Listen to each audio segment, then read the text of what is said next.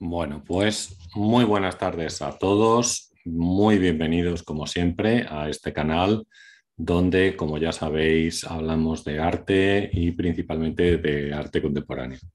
Em, me gustaría empezar, bueno, lo que os voy a deciros un poco lo que vamos a hacer en el día, en el día de hoy y es lo siguiente, mientras voy colocando el chat para poder echarle un vistazo, eh, eh, eh, y así poder ver algunos de los comentarios que vosotros hagáis y, demás.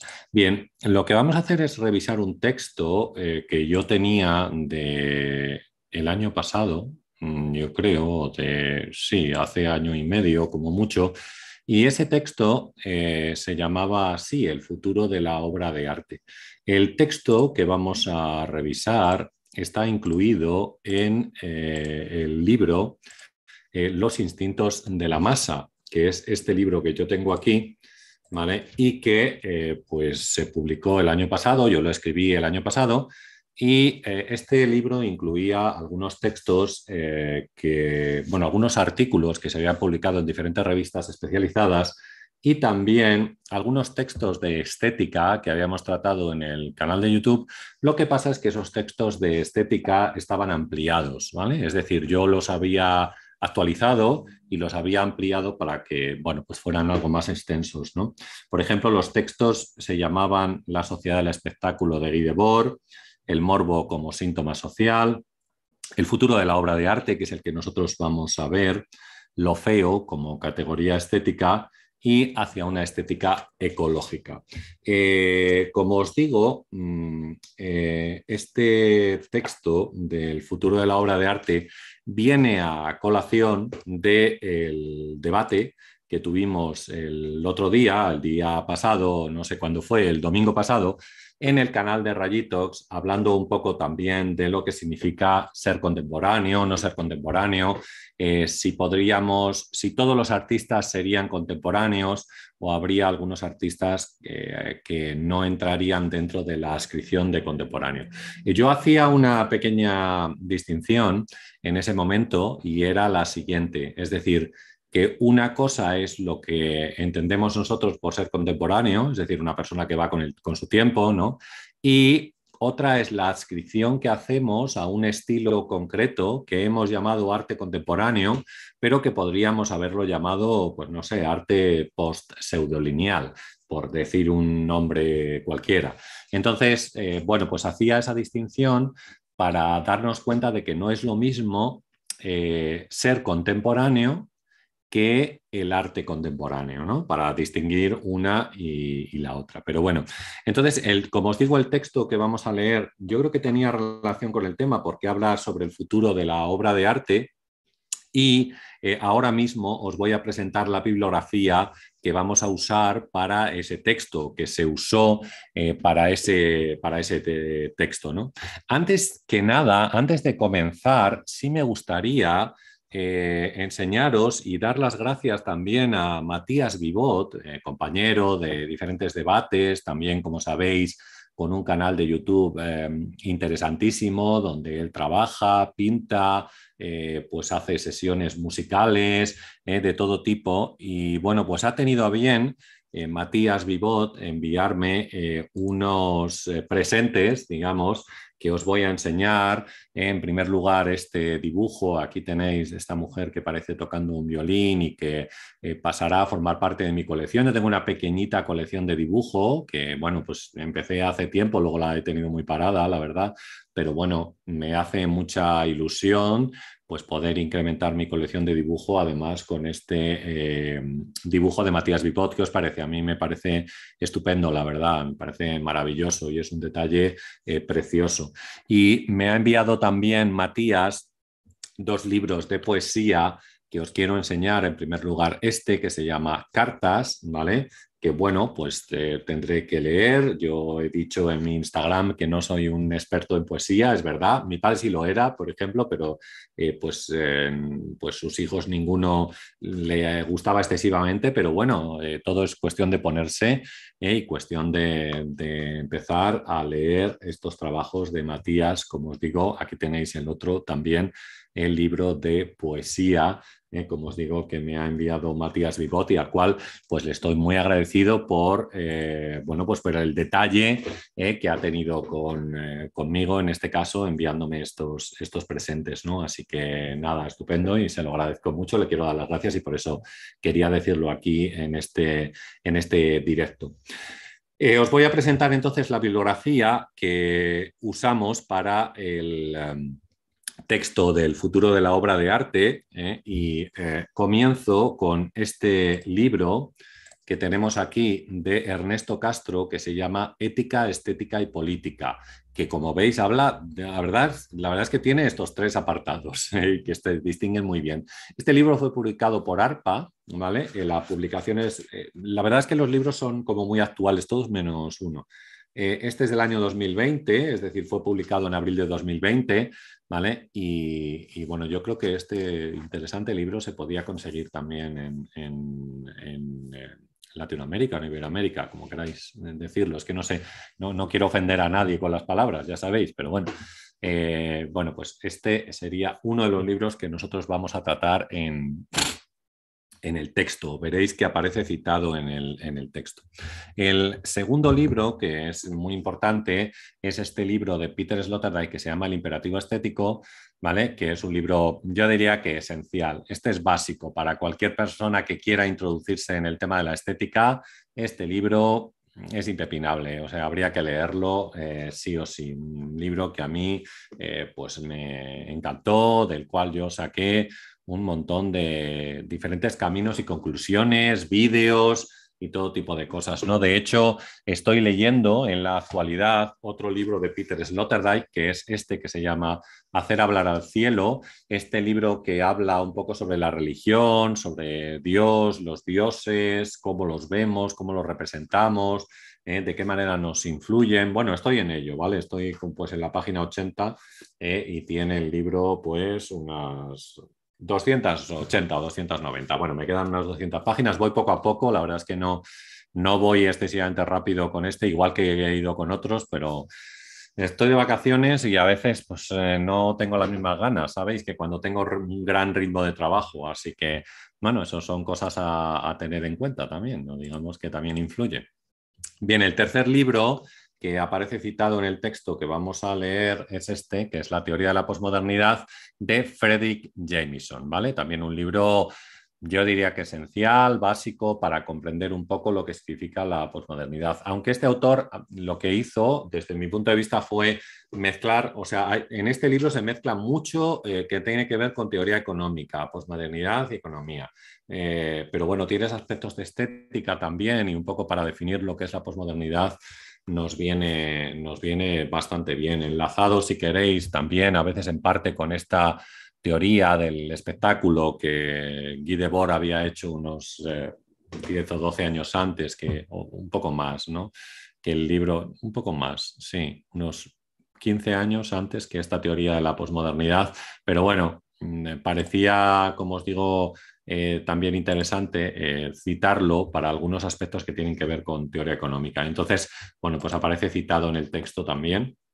Y el último de los libros que os quiero presentar y que aparece citado en la bibliografía es este libro de Alberto Santamaría, profesor de la Universidad de Salamanca, de la Facultad de Bellas Artes, teórico, crítico cultural, si queréis, que siempre sus libros, eh, pues aparte de temas estéticos, toman un poco el pulso a la cuestión de la cultura o la cuestión cultural en la sociedad. ¿no? Este libro también es muy bueno para, para mi gusto, Alta Cultura Descafeinada. Yo lo he presentado en alguna ocasión también y lo he recomendado y bueno, pues aparece citado en el texto y por eso eh, os lo presento también para que vosotros lo, veáis. Así que yo creo que esos cuatro serían eh, algunos de los, eh, digamos, libros en los cuales estaba inspirado este, este texto que vamos a comenzar a leer, como os digo, y que se llama El futuro de la obra de arte. Yo creo que aproximadamente nos va a llevar unos 20 minutos el texto. Sí me gustaría que bien mientras lo vais escuchando o bien eh, pues cuando lo hayáis escuchado, me deis una opinión también o me digáis qué es lo que os parece. Siempre, como dijimos el otro día en el debate, no hacemos esto desde un punto de vista dogmático, sino aportando distintas ideas que quizás puedan servirnos para eh, bueno, pues eh, abrir caminos, abrir cuestiones, abrir distintos puntos de cuestión o puntos de debate eh, que, nos ayuden pues, a construir pues, algo mejor entre, entre todos, ¿no? que es un poco la idea, ya sabéis, también de este, de este canal. ¿no? Bien, entonces os animo a dejar un like, por supuesto, a dejar un comentario ¿eh? o a lo que os anime a vosotros dejar, que, eso es también lo más importante. Comenzamos entonces leyendo el, libro, el texto perdón, del futuro de la obra de arte diciendo, y a lo mejor también puedo hacer alguna matización a cuestiones que aparezcan en el texto, que como os digo estaba escrito hace un año y medio aproximadamente, con lo cual a lo mejor pues el punto de vista lo mismo ha cambiado. Bueno, afirma Peter Sloterdijk en su libro El imperativo estético del año 2020 que desde la llegada de la modernidad la obra de arte ha sido y es creada única y exclusivamente para la exposición. Entender, no, no para el deleite de la contemplación en casa, ¿no? sino que eh, habría sido creada o la obra se crearía eh, directamente para el cubo blanco o para ser disfrutada en una exposición. Ya Baudelaire, en el año 1863, escribía en El pintor y la vida moderna que la modernidad, decía Baudelaire, es lo transitorio, lo fugitivo, lo contingente, la mitad del arte, ¿eh? cuya otra mitad es lo eterno e inmutable. Como dice un locutor de radio, pues no parecía Baudelaire muy partidario de la modernidad con estas palabras, ¿no? calificándolas como transitorio, fugitivo, contingente, la mitad del arte. ¿no? Entonces continúa el texto diciendo que no se desprende de las palabras del poeta una visión amable de las novedades que aportan estas nuevas obras. Tal vez observamos una dualidad en la afirmación de Baudelaire. Mientras por una parte se acerca al lado sublime del arte a través de aquello que puede permanecer y que no cambia, al mismo tiempo abre la posibilidad a que no todo aquello que llamamos arte pueda ser considerado como tal. Los adjetivos que aluden al paso fugaz a lo que fácilmente se escapa o una contingencia que alude a un hecho que puede tener lugar, pero que con la misma facilidad puede no suceder. Y estas afirmaciones siembran la duda sobre las obras que se presentan en cualquier exposición. El shock, que para muchos supone la ruptura del clasicismo, no parecía un tema fácil en ese momento, que es un poco lo que vemos ahora con, estas palabras de Baudelaire. Aquello de lo que renegaba Walter Benjamin cuando decía que la exposición de obras de arte termina reprimiendo el valor cultural de las mismas, se ha multiplicado hasta límites insospechados, siendo la única motivación de la obra de arte, es decir, pasar a formar parte de una exhibición. Los inconformistas, decía Benjamin, se rebelan ante el hecho de entregar la obra al mercado y se agrupan junto al estandarte del arte por el arte. Esta frase que acabamos de decir eh, nos alude a la pérdida del aura, esa pérdida del aura entendida eh, desde el punto de vista benjaminiano, ¿no? Eh, el aura que esa pérdida de aura que se produce cuando la obra tiene una masiva exhibición, porque lo que ésta genera es una entrega al mercado, es decir, cuando la obra se entrega por completo al mercado y éste, con sus vaivenes, puede hacer que este trabajo pierda todo lo que tiene de artístico para dedicarse de forma simple a alimentar las demandas de lo que éste reclame. Entonces, yo creo que en estas palabras, y me decís un poco, que yo escribí, por supuesto, yo creo que en estas palabras eh, también está encerrado un poco algo de lo que nosotros comentábamos el otro día, y es lo siguiente, que, eh, bueno, pues hay algún tipo de trabajos o algún tipo de obras que alimentan las demandas del mercado, pero que a lo mejor no se dedican a ser completamente 100% artísticas, ¿vale? Sino que con los vaivenes que tiene en el, mercado artístico, pues en algunos momentos lo que hacen es saciar ¿eh? pues esa, digamos, demanda que pueda existir de cierto tipo de, cierto tipo de, trabajos. Y cuando Benjamin hablaba de esta, digamos, eh, ¿cómo podríamos expresarlo? De esta eh, masiva exhibición, ¿vale? De esta masiva exhibición, yo creo también que él se estaba refiriendo un poco a esta idea, a este tema, ¿no? A este tema de una producción exclusivamente para un mercado eh, que es importante, por supuesto, porque todos los artistas tienen que vivir de algo y es así, pero en algunos casos podríamos decir que resulta excesivamente descarado. Y cuando a lo mejor resulta descarado, pues oye, lo mismo no está mal hablar de ello, ¿no? O, decirlo, o comentarlo, ¿no? Por eso eh, quizás las palabras de Benjamin son un poco exageradas, podríamos decir, pero en ellas se puede atisbar eh, pues un eh, cierto, digamos, papel que puede estarse dando en nuestra sociedad, en algunos casos, pues incluso quizás de artistas muy conocidos. El aura, continúa el texto, se encuentra en la percepción que de la obra de arte hace el sujeto que se enfrenta a ella. Quizás este sujeto, actualmente distraído por el vaivén del mercado, pueda no saber distinguir aquello que la obra tiene de decorativo dejando de lado lo artístico, que en teoría es lo que da sentido a ese trabajo como obra de arte. Bueno, pues nada, no sé, ya me vais diciendo ¿eh? qué os parece esto que, estamos comentando. No sé si eh, puede resultar muy duro, yo creo que no, pero, pero bueno, eh, ya, ya lo, vamos, lo vamos viendo. Lo vamos viendo. Venga, seguimos.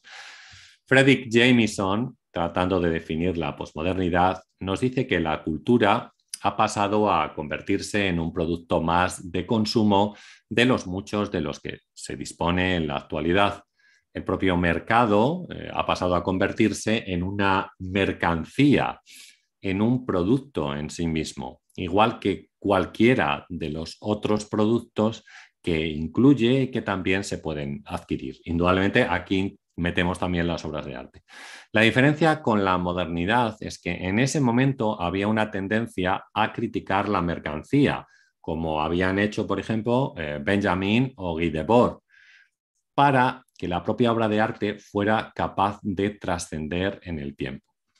Da impresión de que la trascendencia ahora no importa lo más mínimo, porque lo que se impone es el mercado y aquello que se está dispuesto a pagar por cualquier trabajo, sea este artístico o sin ninguna capacidad para poder trascender en el tiempo. Encontramos así obras o artistas que se orientan solamente hacia el mercado. Sus trabajos carecen de base conceptual y solo sirven para agradar a la vista. No reúnen algunas de las características que se exige a una obra de arte son denostados por la crítica, pero con la pérdida de vigencia de esta, el público engañado asume como artístico aquello que no tiene ninguna posibilidad de perdurar en el tiempo, porque no pasa de ser un trabajo meramente decorativo.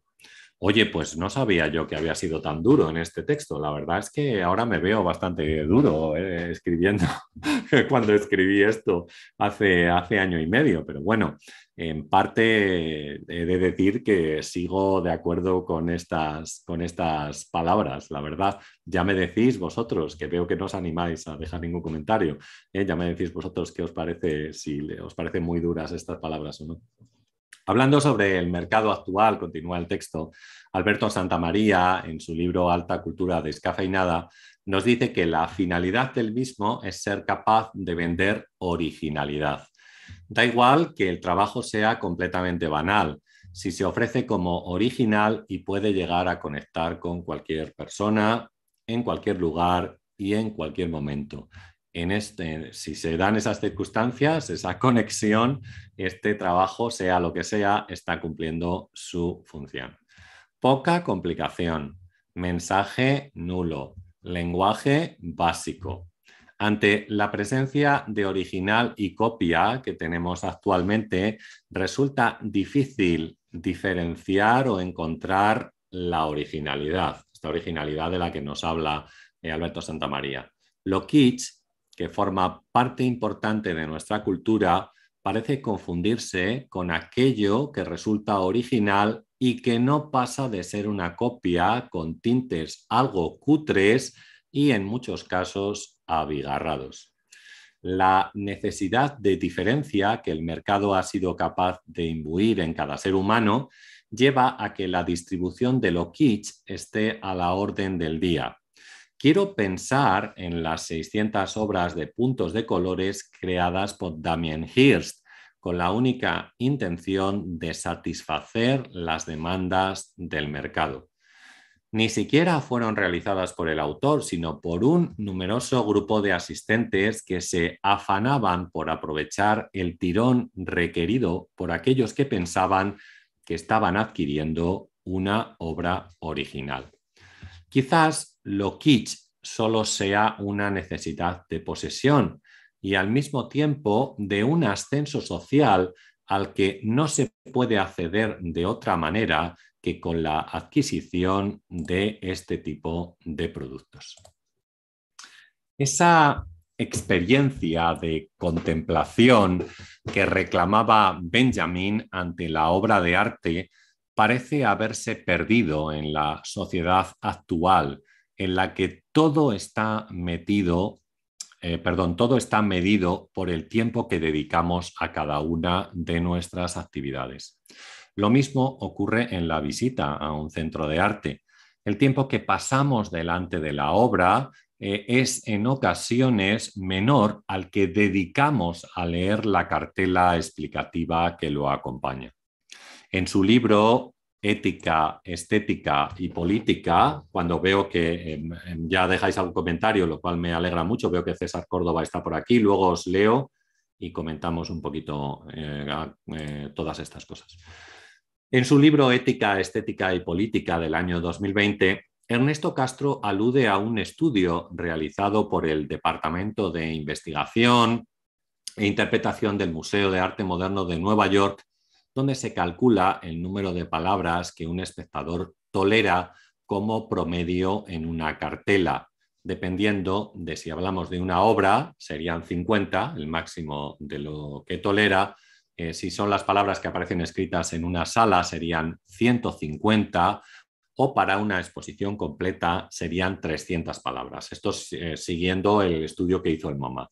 También nos informa de el tiempo que un espectador dedica a la contemplación de una obra de arte. Mientras hay un promedio de 10 segundos dedicado a leer la cartela, el visitante dedica solo tres segundos a la contemplación de la obra. Es decir, se dedica mucho más tiempo a la literatura que al diálogo con el trabajo. Las cartelas son necesarias, pero el estudio es significativo de la transformación que ha sufrido la obra de arte y la capacidad de impacto y recepción que se le otorga por parte del el que la contempla. De esta manera, la experiencia aurática ante la obra de arte resulta trastocada por el comportamiento de la sociedad, que asume el mensaje de la cartela y pasa de forma distraída ante la obra que tiene delante, sin comprobar si el mensaje recibido es cierto o solo se acerca modestamente a la realidad. La aceleración actual hace que la serena reflexión ante la obra de arte queda reducida a unos segundos. Hay tanto que ver en tan poco tiempo que no somos capaces de apreciar los detalles o aquello que siendo trascendente trata de comunicar la obra de arte. Seguimos. Benjamin decía que la pintura no puede ser como el cine. El cine es puro entretenimiento y por tanto se enfrenta a las masas que gastan su tiempo de ocio en esta actividad. Pero el arte tiene un concepto más sublime. No somos capaces de imaginarnos delante de una obra de arte cargados de palomitas y relajados en una butaca mientras nos enfrentamos a lo que el autor quiera transmitir. En muchos casos, la experiencia al entrar en un museo se vive con cierto misticismo ¿eh? y un respetuoso silencio ante la obra de arte. Lo, que Benjamin decía es que el arte no puede enfrentarse al público de igual manera, no está preparado para que todo el mundo pueda verlo. No se trata de gastar el tiempo de ocio, sino de una actividad superior que roza lo glorioso. Una experiencia completamente distinta es una experiencia de imágenes y sensaciones incomparable. Eso es el arte. Estaría bien, dice el texto, reflexionar de qué manera nos enfrentamos a una obra de arte. Cuando la cultura se ha convertido en un ámbito más de consumo, la visita al museo forma parte del tiempo libre.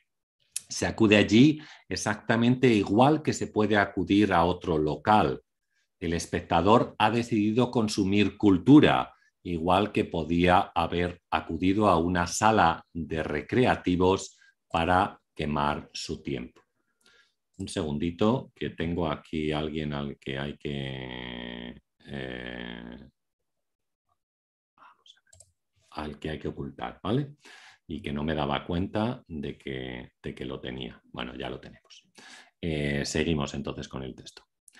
Bien, volviendo a Peter Sloterdijk, este nos dice que en la actualidad la obra de arte clama por una pared blanca que pueda acogerla y desde allí poder saltar a los ojos de los espectadores que puedan contemplarla. La obra exige un espacio vacío para ser expuesta, pero no se trata solo de la presencia en el muro blanco o en la sala de exposición, sino que la obra reclama su visibilidad en un catálogo que permite la contemplación en un momento en el cual nosotros no estamos en el museo. Con, la llegada de las redes sociales puede adaptarse al formato cuadrado de Instagram o reclama tal vez un vídeo en YouTube que sea capaz de llegar a todas aquellas personas que no tienen la capacidad de desplazarse al lugar donde se expone. La obra de arte no dialoga tanto con el espectador como con los expertos, de los cuales reclama las comparaciones diligentes que sean capaces de situarla en el tiempo y en el espacio correspondiente. Con todos estos detalles que acabamos de citar, no parece que la obra de arte se dirija a un público concreto, sino que parece creada para un grupo de personas que trabajan dentro del sistema del arte y así obtener su validación. Quizás sea una falla que se ha producido en el sistema y que los artistas deberían tratar de corregir. La obra reclama una memoria, a través de todos estos elementos. Reclama una epopeya que quizás no sea capaz de conseguir. Bueno, ya me vais diciendo ¿eh? qué os parece esto que estamos, estas afirmaciones que estamos haciendo, ¿no? Y no sé, qué bonita es la estética, de verdad. Es que me gusta, eh, me gusta poder escribir a veces sobre estética porque mm, abre un campo tan grande, como veis, de posibilidad que, que yo creo que no sé, si os, eh, ¿qué os parece? ¿Está mal escrito? Si está mal escrito, pues oye, decime, Rafa, qué mal escribes, tío. Eh, pero quiero decir, si, si, tú eres capaz de establecer un diálogo con todos estos pensadores y con circunstancias que tú ves o que te das cuenta que suceden alrededor tuyo, eh, pues ahí tenemos un poco lo que sería la, estética actualmente, ¿no? La captación o el enfrentamiento del espectador ante la obra de arte. Y fijaros de todas las cosas que hemos hablado aquí, de Benjamin, de la de Laura, del cubo blanco, de... Bien, pues eso sería, ¿no? Eh, bueno, continuamos con el texto, que nos queda, a ver cuánto nos queda, nos queda un poquito, unas dos páginas aproximadamente. Bien, ya no se sabe si el artista trabaja para el futuro o bien lo hace para el aquí y el ahora. Tal vez ni siquiera le interesa al artista eh, trascender, eh, sino aquello que pueda ocurrir en un futuro, pero inmediato. en el cual todavía puede enterarse de lo que pasa, ¿no? Es decir, que el artista trabaja para un futuro pues excesivamente cercano, digamos, en caso de que trabaje para el futuro y no para el ahora, como decimos. Pero vamos, esto no es solo algo que atañe a los artistas, sino a, todo el mundo, ¿no? Al cual nos han dicho que es posible hallar el éxito en esta sociedad eh, en la cual nosotros nos movemos. Ernesto Castro, en el libro Ética, Estética y Política, dice que no debemos plantearnos cuál será el futuro de los sistemas políticos que tenemos en la actualidad, ya que el sistema capaz de triunfar será aquel que mejor satisfaga la aspiración del ser humano al reconocimiento como individuo.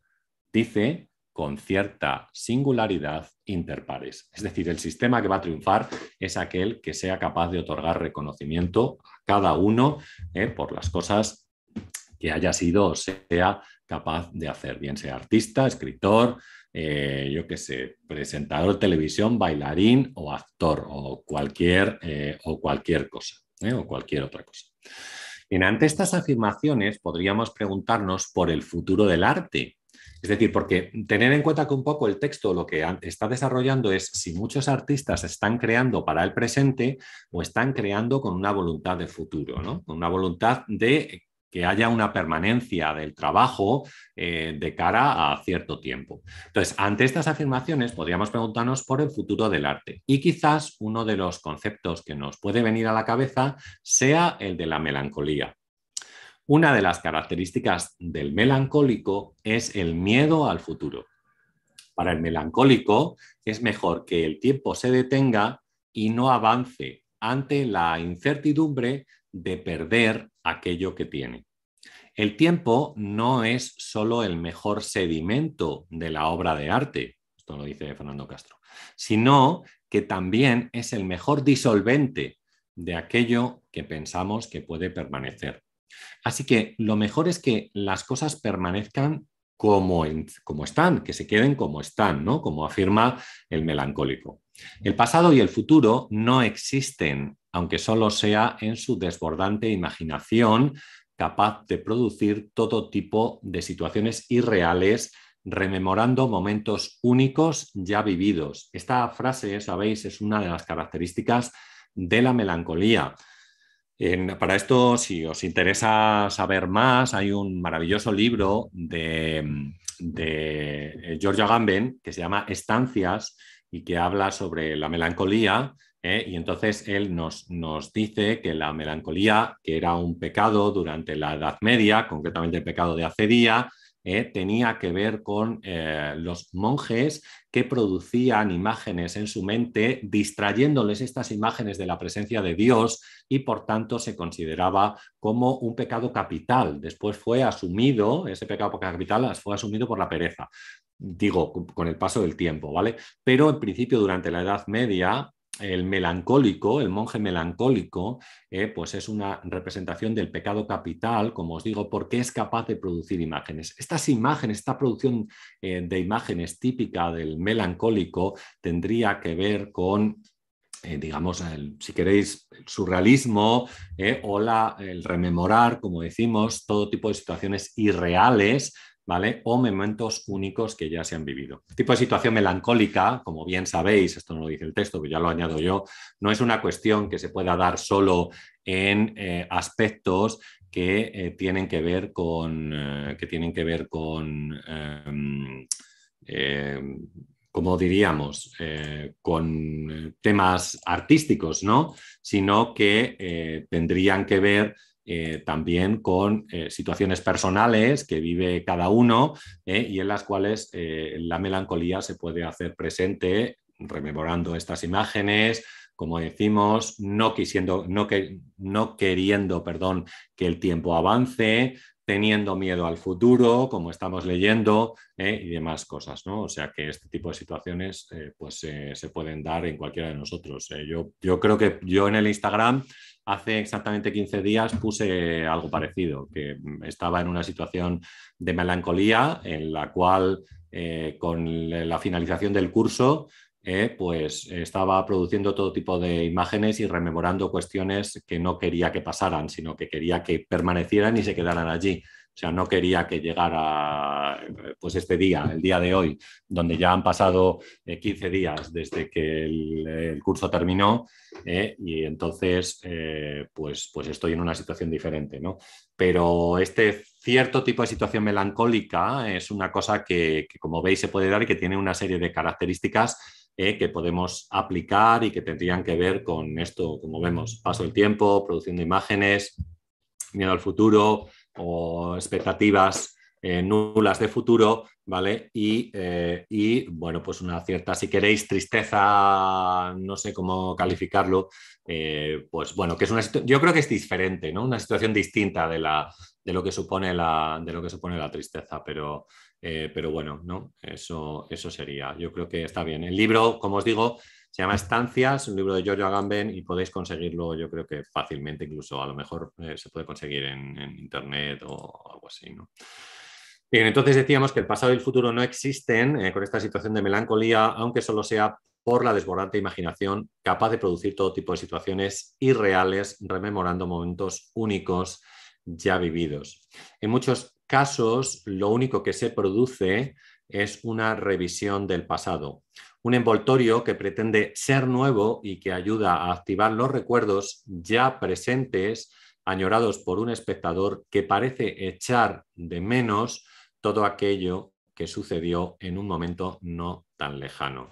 Es decir, esta es una continua retromanía nostálgica. Hablando de este tema, tenemos dos libros más también que sabéis que nos pueden ayudar con esta situación o con este, eh, con este, eh, con este apunte. Uno es de Simon Reynolds, se llama Retromanía, y otro es de, eh, a ver que no se me vaya el nombre, y otro es de, bueno, se me va el nombre. No, pero no pasa nada, lo tengo aquí y lo miro. Y otro es el de,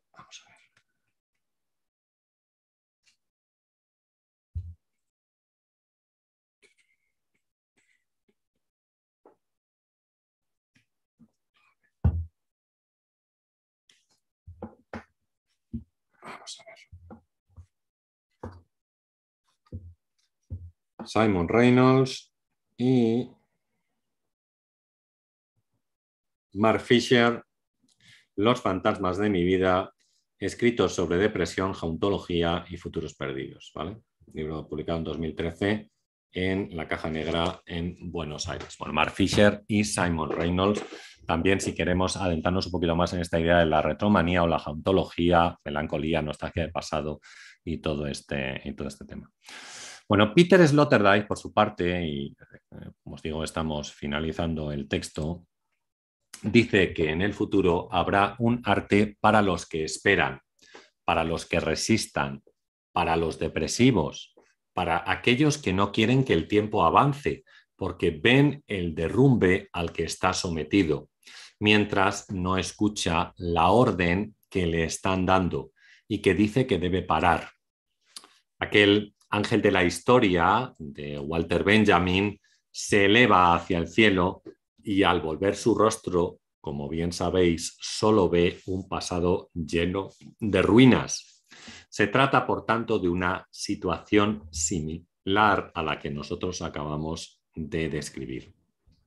Tiene cierto sentido de nostalgia de futuro, una descripción jauntológica que nos habla de la incertidumbre a un futuro en el que solo se repiten las mismas formas, carente por completo de novedades, donde la copia, la producción en serie y la falta de ideas parecen invadir a muchas de las representaciones que llegan hasta nosotros. Los espectros del pasado no paran de proyectarse hacia un futuro cargado de cuestiones sin resolver. Peter Sloterdijk dice que habrá un arte para cultos, pero también coexistirá con otro arte que podríamos calificar como arte hipócrita y arbitrario, basado en el confort, en la falta de ideas, alejado del riesgo y del desafío. Un arte destinado a una mirada distraída y carente de juicio, donde lo agradable produce un placer tan efímero como el tiempo dedicado a la contemplación de la obra, no más que unos segundos. Bueno, pues este es el texto que yo espero que os haya llamado la atención. Quizás es un poco crítico o bastante crítico, pero bueno, yo creo que también hay que ser crítico, ¿no? Porque a eso nos dedicamos.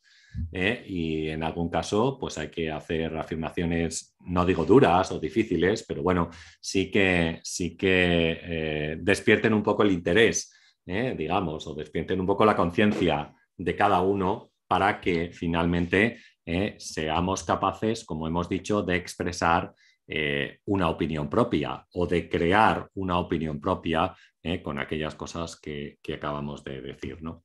Bueno, voy a entonces a saludar a las personas que estaban por aquí en el chat. Eh, si queréis alguna cuestión más o alguna pregunta más, pues ya sabéis que podéis dejarla ahora mismo y que la veremos. ahora os pido que si podéis dejéis un like, que tenemos 15 likes y 43 personas con nosotros, eso no combina y ya sabéis que un like no cuesta nada. Si alguien se anima a hacerse miembro del canal o a dejar un super chat, pues oye, estupendo, que el futuro, en mi caso melancólico, es bastante incierto de cara al próximo año. Así que cualquier cosa, cualquier ayuda es buena. Bueno, Salvador Llopis nos saludaba Ubaldo Torres, ¿vale? Dice, Baldot, en pintor artista de Santander, te envía saludos. Pues un saludo también para ti. Alquimia88, que ya es un clásico del canal, también está por aquí con nosotros, pues estupendo. DJ Sifrin nos saludaba. Rhythmic dice, el arte decorativo también tiene alto valor artístico. Eh, puede ser, no, digo que no. De hecho, en muchos casos, eh, los grandes del arte eh, se dedican a ello. Así que a lo mejor es posible que tenga un alto valor artístico. Monetario y económico, eh, desde mi punto de vista, lo tiene. Así que eso es. Yo creo que por ahí. Dice DJ Sifri que la demanda que ganó Mauricio Catalán. Bueno, fijaros, yo en esto hay una cosa, vamos, yo no, esto no es por hacer salseo, de verdad. Eh, es que eh, parece que Abelina Lester le dedicó un vídeo al tema de la demanda que había ganado Mauricio Catalán eh, sobre el artista que había ejecutado el trabajo o algunos de los trabajos. Y entonces, como, bueno, pues parece que es un tema como muy polémico. A mí la verdad no me había llamado mucho la atención, pero viendo el vídeo de Abelina Lesper decía ella así directamente, como, como, si, no, como si no hubiera nada eh, raro en el tema, que el dinero lo podía todo y que, bueno, pues más o menos habían comprado los jueces para que dieran la razón a Mauricio Catalán. Pero yo no sé qué país eh, vive eh, Adelina Lepper, pero, o sea, aquí me parece muy complicado ir a un juez y decirle, oye, mira, que te voy a dar 10 millones de euros por, no sé, yo, o sea, soy un tío ingenuo total, pero la verdad es que creo en la independencia de la justicia. Vamos, por lo menos eso me han enseñado, que debo creer en la independencia de la justicia y que las cosas no funcionan así. O sea, entiendo que habrá gente que, bueno, pues acepta, o sea, que es corrupta en general, políticos o lo que sea. Pero vamos, que esto, o sea, lo, decía con un desparpajo como si fuera tan fácil, ¿sabéis? Que a mí me dejaba, me dejaba completamente sorprendido, como diciendo, ah, pues esto es así, ¿no? O sea, tú llegas allí y le dices a un juez, venga, pues me vas a sacar esta demanda adelante con este resultado. Y, pasa. Pues, hombre, pero hombre, que esto es un país democrático. O sea, que aquí en Europa las cosas no funcionan así, creo yo, vamos, que no. O sea, y con, y un tema de arte, donde tú verás lo que va a ganar Mauricio Catalán con el tema. Quiero decir, va a ganar la autoría de las obras, pero, pero vamos, que tampoco que sea archimillonario. Vamos, que esto no es una demanda contra, contra yo qué sé, contra Telefónica, que eso sí que es una empresón, ¿sabéis? O contra el Banco Santander, que eso sí que es un bancazo. Es decir, que, bueno, pues no sé. Pero el caso es que a mí me sorprendió, yo no sé a vosotros qué os parece, pero me daba la impresión que decía eso y yo decía, Dios mío, pues, eh, pues nada. Además de un desconocimiento del general del mundo del arte bastante grande que se mostraba en el vídeo, pero bueno, eso aparte. Eh, pero lo de, vamos, me llamó mucho la atención eso, ¿no? De que el dinero era capaz de comprarlo todo y entonces compraban a los jueces para que le dieran la razón a Catalán. Entonces, pues, no sé, a mí me, sorprendía, me sorprendía el tema, pero bueno. Eh, esto por el comentario que dejó DJ Sifrit acerca de, Mauricio Catalán ganando el juicio al, ejecutor de las obras. ¿Os imagináis una demanda de todos los que hicieron los puntos de las 600 obras de puntos de Damien Hirst contra Damien Hirst? ¿Vale? Pues estaría bien también, ¿no? Porque al final fueron contratados para hacer ese trabajo específicamente y satisfacer las demandas del mercado, un poco como lo que nosotros acabamos de ver, acabamos de ver aquí. César Córdoba, que he visto que hizo eh, César, gracias, un unboxing ayer de unos libros que le habían llegado, entre ellos el mío, y nada, a ver si tienes tiempo de poder avanzar con él y leerlo y podemos hacer una charla en tu canal que estaría estupendo, ¿no? Dice, te escucho con atención, estoy de acuerdo, la obra de arte hoy en día tiene como destino la exposición en el museo y no ser colgada en una casa. Eso estaría bien que los artistas también o que pensemos eh, qué es lo que ¿qué, es lo que tienen en mente los artistas cuando realizan su trabajo? si tienen en mente la propia exposición de la obra o quizás si el destino de la obra ellos piensan que es otro, ¿no? Entonces a lo mejor por ahí estaríamos eh, o estaríamos pensando algo, algo distinto, ¿no? Bueno, Víctor de la Rosa también dice que es verdad eso y nada, aprovecho para saludarle. DJ Sifrid saludaba a César Córdoba. Miguel Pérez dice, saludos desde México, platicamos sobre la demanda de Catalán, felicitaciones. Sí, sí, ya, yo, ya he dicho lo que más o menos, Miguel, lo que pensaba del tema, no sé, decirme vosotros también si queréis en algún comentario eh, lo que pensáis pero vamos, la idea era, era esa. Yo, o sea, si le han dado la razón a Catalán, supongo que es porque la tiene, o el juez habrá estimado que él tiene razón en, eso. A mí me da que, o sea, en, España también tenemos distintos artistas, sabéis, o sea, no me refiero a Catalán, me refiero a otros artistas que eh, han pensado cómo debe ser el trabajo y el trabajo ha sido ejecutado por otra persona, ¿no? Eh, pues no sé, pienso en Bernardi Roch, por ejemplo, en muchas de las esculturas que hace Bernardi Roch, que él dice cómo hay que hacerlas y tal, pero no las hace él directamente, sino que se las hacen en un estudio o se las hace otra, otra persona, ¿no? O sea que no sé, no sé muy bien. Eh, yo creo que si, o sea, lo importante del ejecutor de la obra al final es que, eh, o sea, él no tuvo la idea, sino que la hubiera tenido, la hubiera hecho y se hubiera dedicado a hacer, hacer ese trabajo. Si tú aceptas hacer un trabajo de ese tipo, pues, oye, mira, eh, chico, no sé. Eh, esto, mirar, los artistas, vamos, aunque no, quizás no sea comprobable, pero los artistas del siglo XVII, eh, que tenían mucha demanda de imaginería, sobre todo escultores, se dice que eh, en algunos casos hacían un contrato y solamente tallaban eh, pues la, o sea, el autor, el artista, tallaba las manos, la cara y los pies, que eran lo más expresivo. El resto del cuerpo lo hacían ayudantes, personas que trabajaban en el taller, aprendices y, y, demás. ¿no? Entonces, eh, pues puede ser, o con algunos pintores supongo que pasaría lo mismo, ¿no? El Greco tiene nueve o diez versiones del espolio, lo mismo él pintó solo las caras y algunos de los eh, trajes, colores y demás, pues los pintó algún ayudante, o es que no lo sé, pero es muy posible y este tipo de cosas pues han pasado toda la vida, yo creo. Cuando tú eres un artista y contratas a otra persona para que haga un trabajo, pues le das de alta en la seguridad social, haces un contrato, eh, lo tienes ahí, le pagas un dinero por lo que ha hecho. Vamos, hay un intercambio y en ese intercambio ya no es cuestión de que entren las ideas, sino es cuestión de que, oye, he hecho esto, me has pagado tanto por hacerlo, pues hasta ahí estamos y se acabó, ¿no? Y en este caso, pues Catalán es el que tiene las ideas y a mí me parece lógico eh, que finalmente pues entre en eso. He notado yo, porque después del vídeo este de, que, que sacó Abelina Alesper, yo creo, eh, yo tengo un vídeo que se llama eh, Mauricio Catalán, Plátanos, Meteoritos y Buenas Ideas. Se llama así, podéis verlo, es un vídeo muy interesante, yo creo haciendo un recorrido de toda la obra de Mauricio Catalán y viendo un poco, eh, analizando muchos de sus trabajos, no solamente la banana, por supuesto, sino muchos más.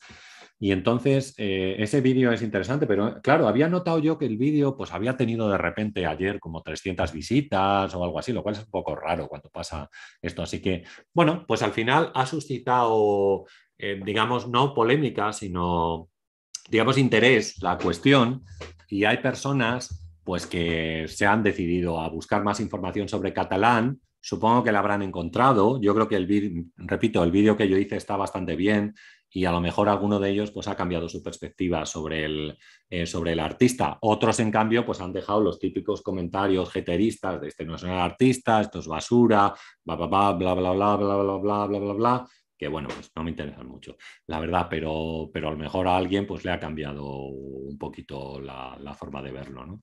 A ver, que seguimos viendo algún comentario más. Venga, Andrés López, escultor, que nos saludaba, pues venga, un abrazo también para ti. Eh, dice destinos de la obra de arte, oficina, centro de convenciones, también área de recepción, centro deportivo. Bueno, Ritmic, ¿sabes dónde utilizan mucho las obras de arte? Aquí, por ejemplo, eh, cada vez que hay una reunión de presidencia de gobierno, es decir, un consejo de ministros, bueno, las cámaras no pueden entrar allí porque es secreto y tal, pero nos ofrecen a lo mejor una imagen de todos sentados y demás, está plagado de obras de arte. O sea, ellos no tendrán interés por la cultura, no saben ni quién está allí, pero tienen a Barceló, tienen a Tapies, tienen a Monpo, tienen cuadros de Joan Miro, o sea, sí, eso sí les interesa. ¿Eh? Y entonces también este es el destino de, tal. A, veces hacen una entrevista al presidente de gobierno y lo hacen en el Palacio de la Moncloa, que es el lugar donde vive. Y entonces, eh, y entonces el Palacio de Moncloa, el lugar de la entrevista, plagado. Tienen un tapies allí impresionante, o sea, un tapies increíble. Bueno, pues también destino de estos, de estos eh, obras de arte. Yo digo, yo creo que el artista a lo mejor debería reflexionar para ver si el destino de la obra de arte es el museo, es otro, ¿no? David Rejas dice, por lo general, el artista piensa en hacer un cuerpo de obras y esto se supone para ser expuesto en conjunto. En conjunto es así como se hacen las exposiciones. O sea, David Rejas nos dice que sí, que él piensa que se hace un cuerpo de obras para ser expuesto, ¿vale? Para ser expuesto. Otros destinos de la obra de arte, frente a un edificio, un complejo residencial afuera. Sí, sí, sí, está claro, está claro. Pero bueno, ¿sabéis un libro que nos habla también de este tema y, eh, que, y que em, o sea, él, nos planteaba si el artista estaba creando obras con vista a ser integrado dentro del sistema única, únicamente. ¿no? Es un libro de Daniel Gasol, ¿vale? Daniel Gasol que se llama, esperar que lo busco porque no me sale el título, ¿vale? Eh, nosotros lo comentamos, se llama Arte Inútil, ¿vale? Eh, está editado en, la editorial, se llama Rayo Verde. Y también es era una cuestión interesante esa que él planteaba, como os digo, sobre si el artista en algún caso estaba haciendo obras porque quería ser integrado dentro del sistema o tenía libertad de creación para poder, para poder hacerlo. este tipo de cuestiones está bien debatir sobre, eh, sobre ellas, ¿no? Bueno, Salvi 100 nos mandaba un saludo. Arte con la baladón, que tengo que darle las gracias porque nos dejó un eh, super gracias de esos, un super thanks en el último vídeo editado que hemos puesto y que es sobre el arte eh, abstracto, ¿vale? Que es el arte abstracto. Así que gracias, Gaby, por, por bueno, pues nada, por colaborar y estar ahí siempre con el canal, ¿no? Y bueno, nos eh, saludaba. DJ Sifri dice que el artista mexicano Carlos Amorales, sí lo conozco, dice, tenía una exposición en la que se llama ¿Por qué temerle al futuro? Bueno, pues a lo mejor tiene que ver con esa colección, con la melancolía que nosotros hemos, hemos visto, ¿no? Dice, creo que cada vez que mencionamos a, a esta señora le aparecen los spam porno. Pues no sé, pero oye, yo he visto que nos aparecen spam porno ahora a todos. Es decir, a, Rayitox, a, a, Fernando Castro, también le vi el otro día, a mí, por supuesto, yo no sé si al doctor Soriano, supongo que también, pero ¿qué está pasando así? O sea, ¿qué tiene este canal de interesante para que, para que, haya, para que haya este tipo de spam? Es, es una cosa increíble, pero bueno. Bueno, eh, dice César Córdoba que en México es muy común. Supongo que eh, se refiere a lo de los jueces, pero, pero bueno, eh, es que yo aquí me suena como muy raro. Tampoco digo que esto sea una bicoca y un paraíso donde todo es maravilloso, pero mm, bueno, yo creo que las cosas no funcionan, no funcionan así, ya os digo. En la compra de, eso, de, los jueces, una cosa que me resulta muy difícil y muy complicada, pero bueno. Bueno, dice Rimil, lo que pasa es que Druet aportó ideas en las obras de Catalán. Bueno, pero ¿y por qué no habló de este tema cuando se presentó la obra? Es decir, ¿por qué en el momento de la presentación de la obra no dice, no se va, hay un organismo aquí que es un ah, sitio para, para, ¿cómo se llama? Para hacer este tipo de cosas, o sea, para, para ponerlas, eh, o sea, una de patentes, ¿no? no sé cómo se llama. Bueno, el caso es que sí, yo, yo fui con un libro cuando tenía 20 años allí. Y, porque tenía miedo, la verdad, que un profesor me quitara la idea. Eh, de, entonces, por ese momento yo estaba en la facultad, acababa de terminar la carrera y lo patenté. El, el, copyright, le puse el copyright al libro antes de editarlo. Después se hizo un artículo de ese y ese artículo se publicó. Y nada, no pasó nada, pero no sé, pues se puede hacer, ¿no? Entonces, chicos, si tú compartes la idea con Catalán y crees que, vas a medias como Keith Richards y, el otro cantante, los Rolling Stones, eh, pues, pues chicos, pues a medias. Pero es que aportar ideas, pues puede ser, pero no sé, como no tengas la patente o el copyright, pues no te vale. Entonces, en ese sentido, dejas de ser coautor o no eres coautor. O sea que, por supuesto que, para nada. Yo creo que no. O sea, no tiene, no tiene sentido. El autor de la obra es Mauricio Catelán y luego desarrolla la obra como, como, quiera, ¿sabéis? De la manera en que, quiera. O sea, es que no sé, me parece un sinsentido eh, en muchos casos. O sea, imaginaos que yo tengo un, eh, tengo un libro, me voy a un diseñador, le pago al diseñador porque me haga la portada, me diseñe el libro, tal, lo maquete, todo esto, tal, y me reclama derechos una vez que el libro está publicado. Pues si el libro lo he, lo he, escrito yo, yo a ti te he contratado, te he pagado para que me hagas el diseño y me has hecho el diseño que ha quedado precioso y es estupendo. Pero hasta ahí y se acabó, no hay, no hay más, ¿no? No sé, lo mismo, vamos, yo lo veo desde ese punto de vista, ¿no? César Córdoba dice que ya está leyendo el libro de cómo entender el arte contemporáneo, que os recomiendo a todos que lo adquiráis porque es un libro estupendo y seguro que es un libro que enriquece el diálogo y entonces, bueno, pues, pues nada, eh, os animo a todos a que, a que lo tengáis también. Eh, dice Víctor de la Rosa que merece ver la pena ver el vídeo otra vez. No sé a qué vídeo te refieres ahora, pero, pero bueno. Eh, así que nada, saludos a todos, dice Luisa Mago, pues un saludo también para, ti. Dice Miguel Pérez, es delicado, pero imagínate a los albañiles de una obra arquitectónica exigiendo derechos de ejecución por una obra de Calatrava. Pues es que estamos en la misma. O al aparejador, ¿no? Es que no sé, a mí me suena todo muy raro, es verdad. Dice, ¿de quién es la pintura? ¿Del dueño del lienzo o de quién lo pinta? La pintura, esta, la pintura es mía, esta es mía porque he pagado por ella, entonces me pertenece. De hecho, puedo hacer con ella lo que quiera. Hay un autor de esa pintura, ¿no? Supongo, pero yo podría hacer con ella lo que quiera ahora mismo, porque en este caso el dueño es, soy yo.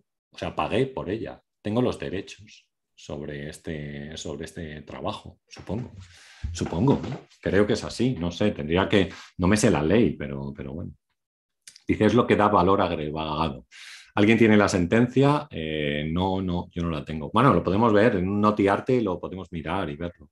Dice, la idea es del artista, el concepto, pregunto, porque el artesano que hizo la obra de Catalán no se le ocurrió a él la idea. Yo estoy en eso, es decir, eh, tío, si tienes tú la idea, hazlo tú. O sea, no vengas diciendo que alguien te vino a que hicieras algo, porque ya te dijo, oye, te encargó que hicieras eh, una cosa concreta, con un tamaño concreto y con una distancia concreta y con una expresión concreta, supongo, ¿vale?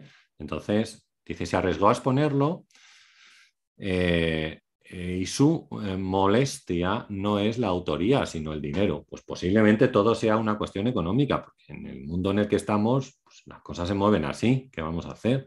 O sea que eso es. Oscar Gómez, la mayoría de quienes producen arte seguro que tendrán muchas más probabilidades de vender sus obras a particulares más que aparecer en, en museos o galerías.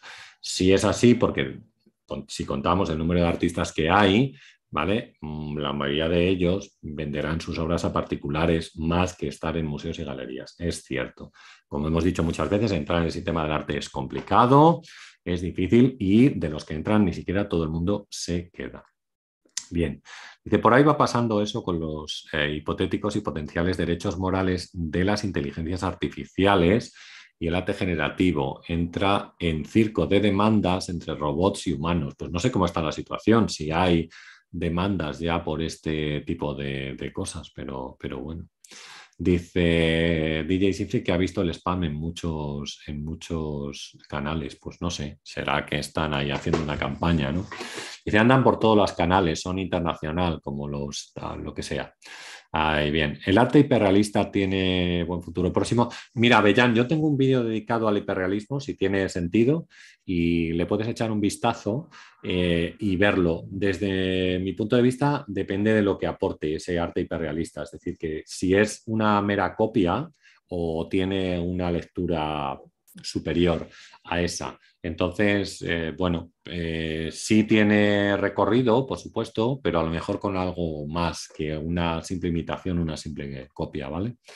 Eh, ese sería un poco el sentido, yo creo, así de forma rápida. Dice, cuando se presenta Marina y participan muchas de sus personas en su performance, todos estos deberían de ser parte de la obra. Bueno, pues como participantes, no sé, bueno, no tuvieron la idea, ¿no? Pero claro, al final han formado parte de la, de la misma. Dice, el botes es muy extraño, lo he visto en canales de misterio y conspiración. Si tengo derecho a destruir una obra de arte por el hecho de ser dueño de ella, pues esta es una buena pregunta, pero no sé, yo creo que sí, ¿no? O sea, si yo, yo cojo, tiro esta obra por la ventana, la piso y la prendo fuego, si es mía, puedo hacer lo que quiera con ella, ¿no? O sea, tengo hasta un título, un papel que dice que es, eh, que es mía. Así que no sé, pero bueno, yo no la voy a destruir, por supuesto. Para mí esto es un sacrilegio, entraría dentro de los sacrilegios, de los pecados capitales, como hemos dicho antes. Por supuesto que no lo voy a hacer, pero, pero eh, bueno, eh, no sé, eh, supongo que si eres dueño, pues haces lo que quieras con el trabajo. De hecho, algunos trabajos están perdidos porque no se sabe dónde están, ¿no? Pensar, quiero decir que, que, a lo mejor el dueño los destruyó, incluso de forma inconsciente, ¿no? Eh, pensar, por ejemplo, en la primera obra surrealista que pinta Dalí, del año 1927, que se llama La miel es más dulce que la sangre. Pues ¿dónde está esa obra? Pues no sabemos dónde está, no se sabe dónde está. Eh, suponemos que está perdida o que se destruyó sin querer, pero bueno. Dice Oscar Gómez, tengo derecho a destruir. sí, este. Eh, Salvi 100 dice, el que inventó, es que, espera, el que inventó el huevo frito está perdiendo dinero. Pues seguro si lo reclama, si se puede patentar y no lo ha hecho todavía, mirar, estáis a tiempo de ir a una fábrica de estas, un registro de patentes y patentar el huevo frito. Y así a lo mejor intentar conseguir algo de pasta. El abogado hace hincapié en que Druet es único, no era un simple ejecutor, tiene algo de magia artística. Esto es su abogado, ¿no? señaló que el propio Catalán admite que no sabe dibujar, pintar o esculpir. Pues bueno, es posible. Es posible. Dice, yo he pintado a Goku por dinero en grande para poder vivir unos meses bien. Tengo hijos, etcétera. Dice, jamás lo hubiera imaginado. Bueno, pues bien, David, pero a lo mejor por eso no vas a reclamar que la autoría de la, de la obra, en caso porque fuiste contratado para hacer un trabajo. ¿no? Dice que todos los que han eh, modelado para algún pintor que demanden y que se haga una ley Lesper. Dios mío. La fabricación de la obra es secundaria a la concepción, dijo el abogado a ver, dijo el abogado de Catalán, la fabricación de la obra es secundaria a la concepción. Dijo el abogado de Catalán, eh, para quien proteger la propiedad intelectual de un artista no es aún más importante en la era del arte conceptual, cuando algunos artistas imaginaban sus obras, pero no fabricaban los objetos ellos mismos. Pues podemos, a lo mejor la fábrica de urinarios podía demandar a Duchamp también, ¿no? Porque finalmente él no ejecutó la obra, la compró y la llevó. Así que no sé. Dice, no, solamente el autor tiene derecho a modificar la obra de arte. Ah, en fin, a César, pues no sabía yo esto. O sea, que tengo que pedir permiso si quiero destruir la obra, vaya. Eh, digo, aunque sea de, mi propiedad, quiero decir que pagué por ella y todo eso. No, no sabía, yo no sé cómo está esa situación. Mira, es interesante, ¿eh? O sea, me interesa la cuestión o el, o el tema de hasta dónde llegan los límites de, del qué puedes hacer con un trabajo que hayas adquirido y que sea tuyo, incluso a lo mejor la cuestión de la imagen, la propia imagen de la obra, ¿eh? que lo mismo no la tienes en exclusiva tampoco, es decir, que no tienes, no puedes hacer una distribución de, la imagen eh, sin contar con el autor, quizás, ¿eh? no, sé cómo está, por eso os digo que, que me resulta curioso.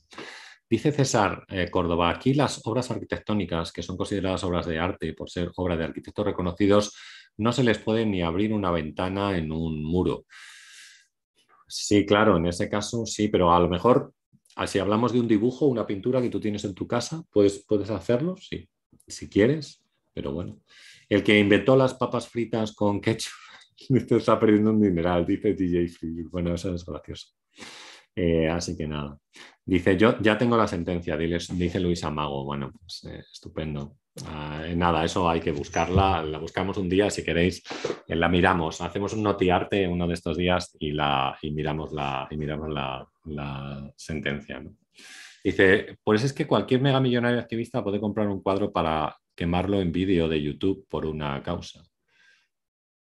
Sí, pero no sé, digo que hasta qué punto, hasta qué punto de vista el patrimonio influye en ese caso cuando la adquisición es tuya. O sea, porque por ejemplo, si la obra está en un museo que es público o algo así, entiendo que sí es un patrimonio general. Pero bueno, también es verdad, eh, es que como yo no, no sé nada de legislación, lo mismo estoy haciendo el ridículo en este aspecto. ¿eh? Mirar, es cierto que, por ejemplo, de España no se pueden sacar obras que tienen cierto valor Quiero decir, hasta cierta cantidad de dinero. Por ejemplo, tenemos una persona hace tiempo que intentó sacar un cuadro de Picasso con la intención de venderlo. Le pillaron en la frontera, le requisaron el cuadro, ni siquiera se lo dan y le van a poner una multa de tres pares de narices eh, por esa situación. Entonces, veis, a veces la legislación es así. O sea, este, este lo quería sacar. ¿O no os acordáis de este Caravaggio que descubrieron eh, que querían subastar por una cantidad ínfima eh, y que el patrimonio dijo que, no, que no, que el valor de la obra era mucho mayor y entonces, claro, la subasta cae en picado porque ya teniendo más de cierta cantidad de dinero ya no lo pueden sacar. O sea, no pueden sacarlo del país, con lo cual ya no interesaba hacer la subasta y de hecho no se, eh, no, se, no se hizo. ¿eh? O sea que, eso es. ¿no? Así que, eh, bueno, es difícil. Yo, yo no me sé la legislación. Lo mismo, mira, lo mismo César está bien un día que, hablemos o podamos hablar sobre el tema. Que me, o sea, yo no estoy nada puesto y, y quizás sacamos una conclusión mayor hablando con un artista que conozca exactamente, pues eso, sobre derechos del trabajo, de la imagen, del si se puede sacar del país o no, eh, de, con vistas a una destrucción de ese trabajo o, lo que sea, ¿no? O sea que eso es. Bueno. Eh, Ancaíz, ¿cómo vas con el libro mío? Cuéntame, eh, ¿ya, ¿ya, vas avanzando con él o no? cuéntanos un poco cómo va el tema. Venga. Dice José La Rosa, buenas, hace un tiempo que descubrí tu canal y me ha ayudado con la carrera. Muchas gracias. Me gustaría preguntar qué opinas del concepto. Pues mira, José, yo no creo en ese concepto, creo que es un concepto que está agotado, eh, que no tiene ningún recorrido, la verdad, y tanto el arte VIP como el Amparte para mí no tienen, no tienen, vamos, no tienen base eh, teórica eh, sobre la cual sustentarse. Creo que el arte a lo largo del siglo XX y XXI ha avanzado bastante y esos aspectos no tienen, no tienen recorrido desde mi punto de vista. Te recomiendo si quieres que, bueno, si quieres leer el último libro que he publicado, que se llama Cómo entender el arte contemporáneo, pues quizás te ayuda a crear una propia opinión sin eh, entrar en conflicto con estos conceptos, pero bueno, por lo menos tratando de acercarnos un poco a, las diferentes ideas de cronología y de lo que sería el arte contemporáneo. César Córdoba dice, es así, Rafa, los derechos de distribución son propiedad del autor, fíjate, y eh, a menos que pelos ceda, dice, pero es una cesión diferente a la venta de la obra. ¿Veis, veis? Como yo sabía que había algo así. Matías, te he dado las gracias antes, te las doy de nuevo ahora eh, al principio del vídeo por estos envíos que me has hecho de este dibujo y estos libros que les voy a prestar mucha atención, así que gracias Matías. Así que bueno, vamos a ir acabando, ¿vale? Yo creo. Dice, lo que hacen covers musicales reciben parte de la, de la monetización, ¿no? Eh, dice, dice Luis Mago que me estoy haciendo buenas preguntas. Yo creo que sí, que son buenas. ¿no? un colectivo de 65 profesionales emitió un comunicado en el que se exponían que la creación contemporánea aún se debate y suscita muchas fantasías, antajos y eh, reduccionismos a priori. Dice, yo soy abogada y artista, nos dice Luisa Mago. Sí, sí, pues es interesante el tema. Dice César, no sabía que habían derechos de distribución. Yo sí, yo tenía idea, fijaros, ¿eh? de este tema. Dice barra, barra ganartis, Dios mío, qué nombre. Dice, los derechos de autor han tenido que irse adaptando a las nuevas circunstancias. Sin embargo, se crearon para proteger a los creadores y se debería traer a un experto a aclarar malentendidos. Sí, está bien. Antes que hablar sin saber, es verdad. Existen dos tipos de derechos, los morales y los patrimoniales. El moral pertenece al autor y es irrenunciable. El patrimonial corresponde a quien adquiere la obra. Sin embargo, no se puede hacer cambios. Dice José La Rosa que lo tendrá en cuenta. Pues nada, estupendo. Quien posee la obra no puede hacer cambios sin que sean autorizados por el autor. Y con los medios digitales más se tiene que adaptar para estar al día ¿eh? y no sufrir una pérdida. Bueno, muy bien. Vale, pues vamos a dejarlo aquí, yo creo. Gracias por los comentarios que hemos tenido. Eh, espero que haya sido interesante para vosotros este tema de este texto del futuro de la obra de arte, que como os digo, eh, yo había escrito en un guion para un vídeo de YouTube, pero que después amplié eh, un poco más, eh, pues apuntando algunos aspectos que yo creía que podían ser curiosos o interesantes y hablando sobre pues, la posibilidad de que el autor se dedicara solo a la exposición, hablando de nueva mirada distraída, como habéis visto, hablando un poco del marketing y de hacia quién estaba dirigida la, la, obra, de, la obra de arte. Así que eso es. Eh, bueno, nos vemos pronto. He hecho un vídeo cortito que quizás sale el sábado eh, que es sobre el hedonismo cognitivo y después el próximo vídeo editado que tenemos va a ser sobre Kant y la idea de lo bello, lo eh, sublime y lo terrible. Este será la próxima semana, el lunes, así siguiendo un orden más o menos como, como venimos haciendo. Pero bueno, no descarto que podamos hacer otro vídeo en directo. Eh, os mando un saludo a todos, como hemos dicho, y nos vemos pronto en un nuevo vídeo. Adiós.